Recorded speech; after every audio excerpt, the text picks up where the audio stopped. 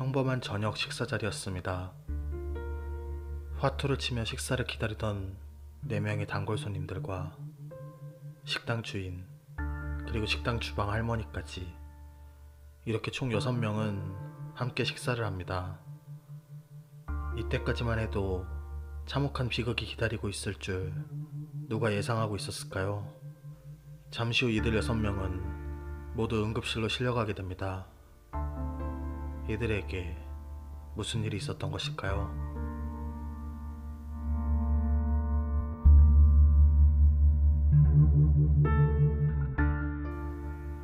사건은 2013년 2월 20일 오후 7시경 충청북도 보은의 한 식당에서 저녁 식사 직후 발생했습니다. 식사를 마친 사람들이 나 죽겠다는 소리와 함께 구토와 설사를 하며 호흡곤란 증상을 보였던 것입니다. 이를 목격한 식당 바로 옆 주점 사장 최모 씨는 곧바로 119에 신고를 했고 6명 모두 응급실에 실려가 응급처치를 받습니다. 그리고 다행히 5명은 치료를 받아 회복했지만 정모 씨는 사건 발생 5일이 지난 2월 25일 결국 사망하게 됩니다. 이들의 혈액을 국과수에 보내 분석한 결과 이들이 먹던 음식물에 액체 상태의 메소밀이 섞여 있던 것으로 드러납니다. 메소밀은 무생무취의 액체로 소주 한 잔 정도의 양만 마셔도 죽음에 이를 정도의 고독성 농약입니다. 그리고 양념 간장을 만들어 놓은 통에서만 이 메소밀 성분이 나왔습니다.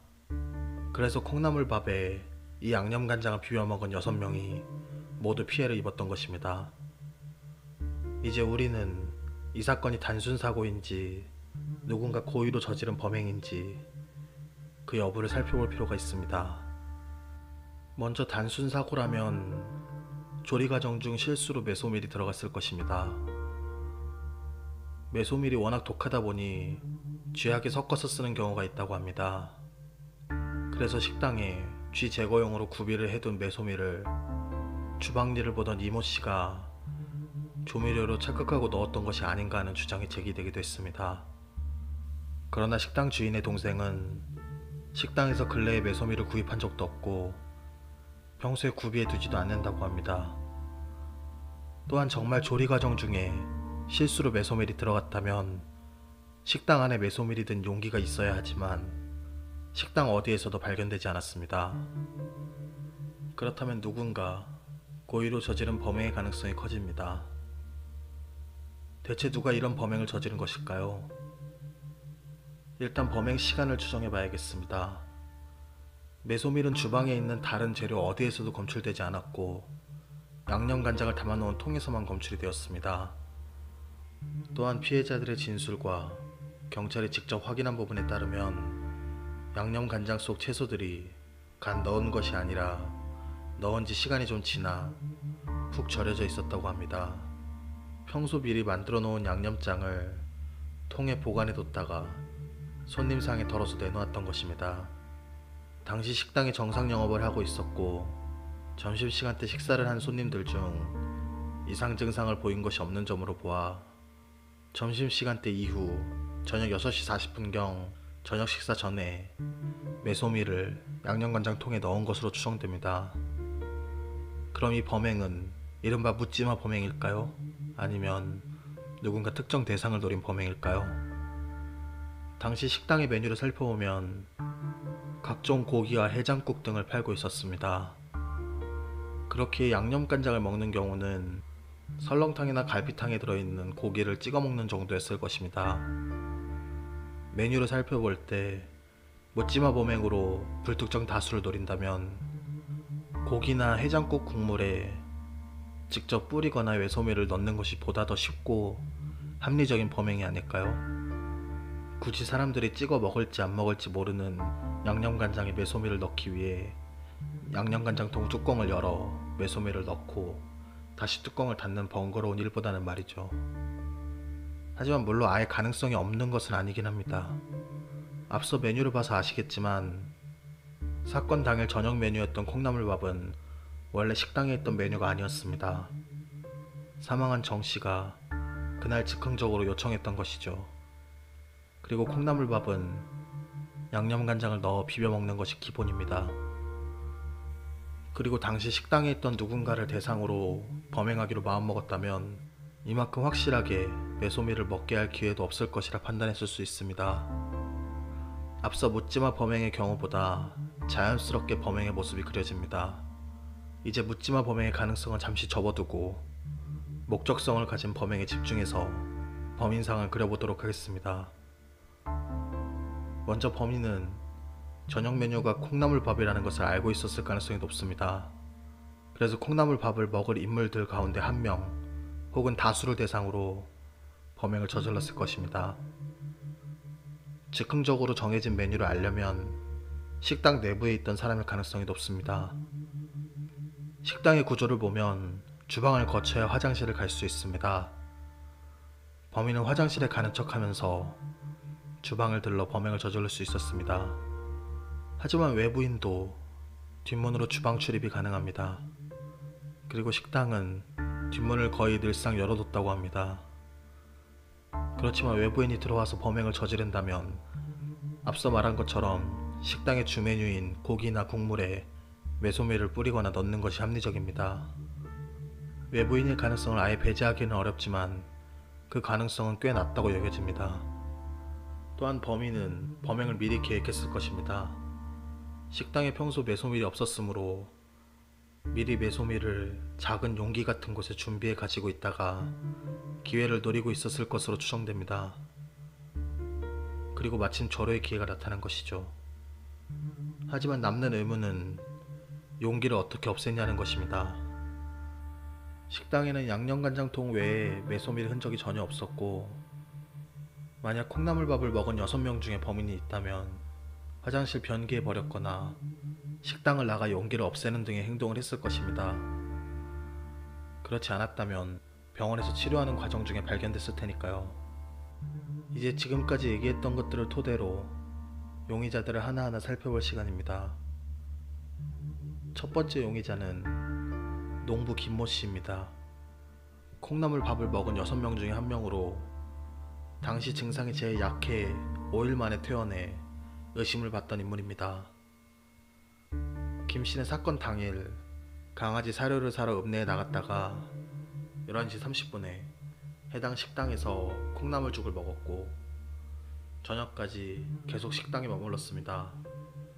따라서 범행을 저지를 충분한 시간도 있었고 저녁 메뉴가 콩나물밥인 것도 알고 있었습니다.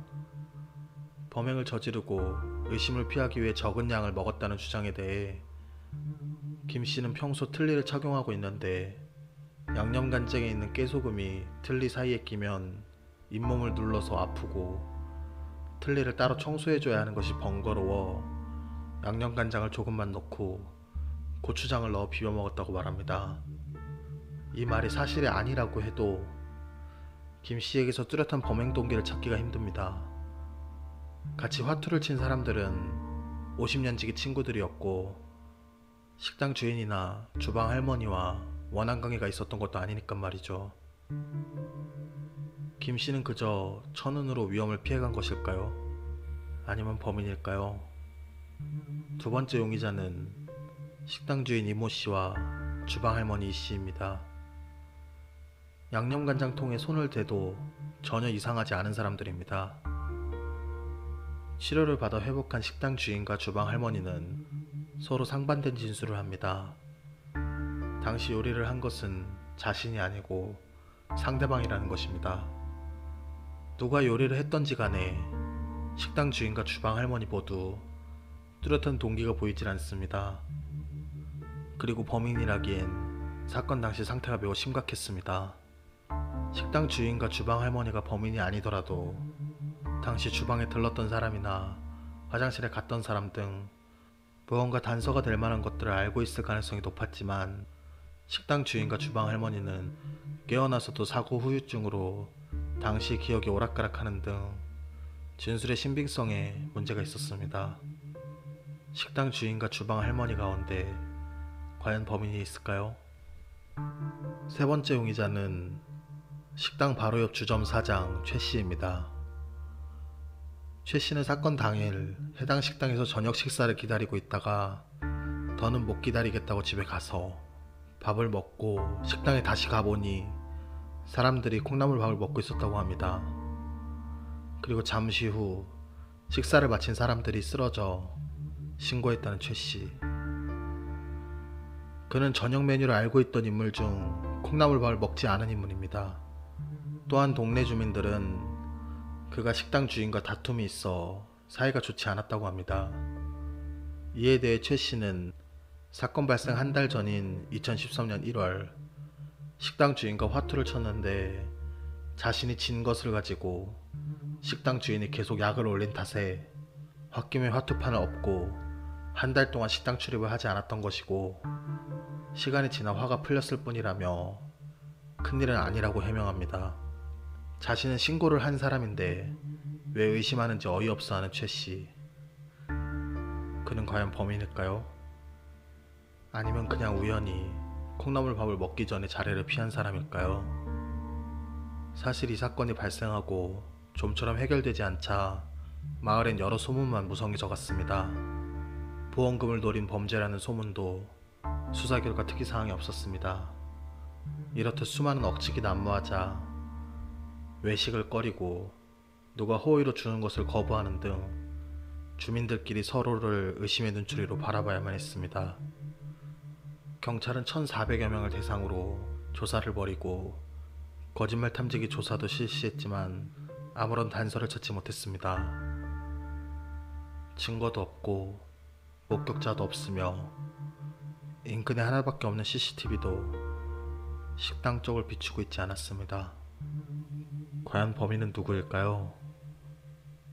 용의자들 가운데 진짜 범인이 있었을까요?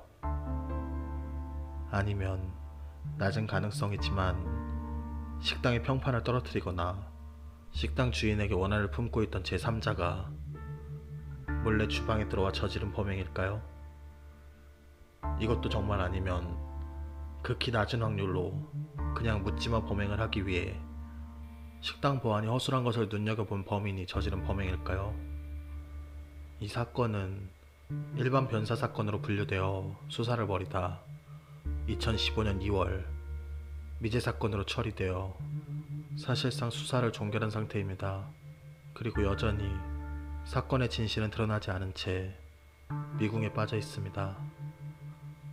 이상 미제 사건 파일 참맛이었습니다.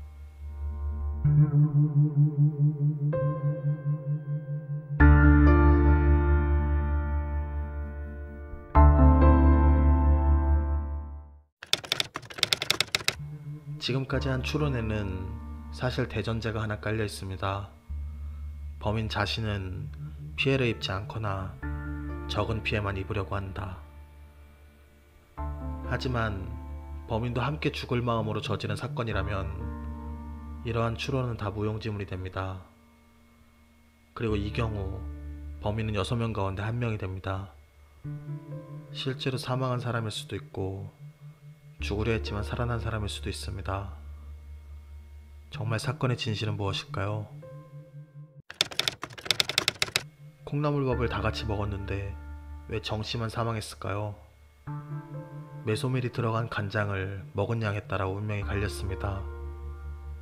증상이 제일 약했던 김 씨는 간장 반 숟가락에 고추장 한 숟가락을 넣어 비벼 먹었고 박모 씨는 간장 한 숟가락을 넣었지만 너무 짜서 밥 한 공기를 추가로 넣어서 비벼 먹었다고 합니다. 그리고 평소 싱겁게 먹던 백모 씨는 간장 반 숟가락만 넣었습니다. 하지만 사망한 정 씨는 평소 짜게 먹는 편이라 간장을 두 숟가락 넣었다고 합니다. 그리고 이들의 운명을 가른 또 다른 요인이 있었습니다. 메소밀 제조 시 75%가 공업용 알코올인데 이 공업용 알코올의 해독제는 술이라고 합니다. 그날 소주를 반주로 곁들인 사람은 피해가 덜했고 평소 술을 안 하는 정 씨와 박 씨만이 소주를 안 마셨다고 합니다. 그리고 실제로 정 씨는 사망했고 박 씨는 제일 오랜 기간 입원해 있었습니다. 그렇게 식성의 차이가 50년 지기 친구들의 운명을 갈라놓았습니다. 이상 뒷이야기였습니다.